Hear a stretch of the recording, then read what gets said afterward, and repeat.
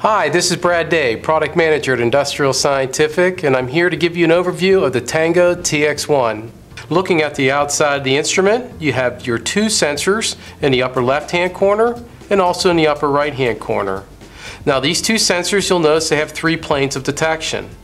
We offer three planes of detection, so if any one plane were to become obstructed, you still have another two planes for the instrument to detect gas. Also along the top of the instrument, you have your visual indication of alarm condition.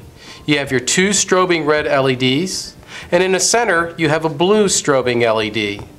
The reason we have a blue and a red is for low alarm conditions, both the red and the blue LEDs will start to strobe, and in a high alarm condition, only the red LEDs will start to strobe. Go down on the front of the instrument, you're going to notice you have two buttons. You have an on-off mode button, allows you to turn on and off the instrument and mode through operations. And you also have an enter button, allows you to enter into operations. In between the on-off mode and the enter is your speaker. All sound coming out of the instrument is coming out through that center speaker. If you go to the back of the instrument, you'll see we have a suspender clip.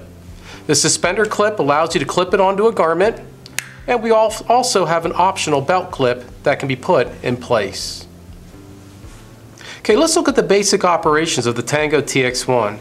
First off, to power on the instrument, you press and hold the on-off mode button. You press and hold that button until the display fires up and then you release the button. The audible, visual, and the vibrating alarm will sound and the display will also show you all the segments.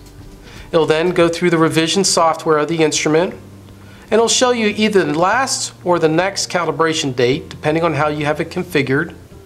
After that, it'll then go through a 15 second countdown. After the 15 second countdown, you'll arrive at the real-time operation screen.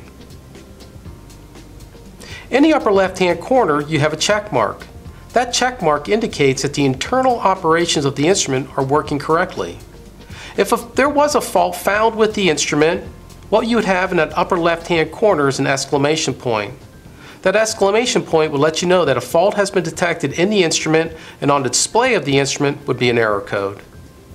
In the upper right hand corner of the instrument shows you the sensor type that's installed and beneath that your gas readings.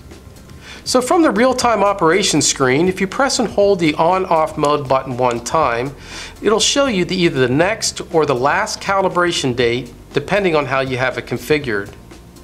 If you press and hold the on-off mode again, the next screen that'll appear is your zero screen. Pressing the enter button at the zero screen would allow you to zero the instrument. Always remember though to zero in clean air. Press and hold the on-off mode again and it'll take you to your bump screen. Pressing your enter button at the bump screen allows you to perform a bump test on your instrument. Press and hold the on-off mode again and it'll take you to your peak screen. Now your peak screen will show you the highest concentration of hydrogen sulfide since last time the peaks were cleared.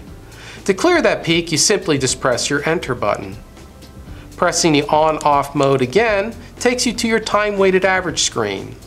This shows you your average reading over the last 8 hours. Once again, to clear this, you just simply press your enter button. Press your on-off mode again takes you to your STEL screen. Your STEL is your short-term exposure limit shows you your gas readings averaged over the last 15 minutes. Pressing on-off mode again will then take you back to your real-time operation screen. Keep in mind that one or more of those screens may not appear depending on your instrument configuration. Thank you for watching Day by Day. For more information about the Tango TX1, click on the links below.